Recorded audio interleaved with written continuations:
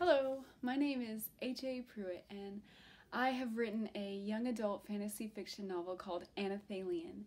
I would love to tell you all about Anelthalien right now, but it's still early in the publishing process, so I don't want to give it all away um, right now.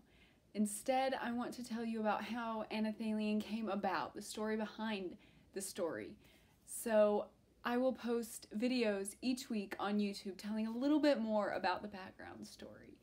For right now, just know that if you've ever wanted something different, if you ever just wish life could completely change, if life has ever been too hard, or if you just always knew something wasn't quite right, Anelthalien is waiting.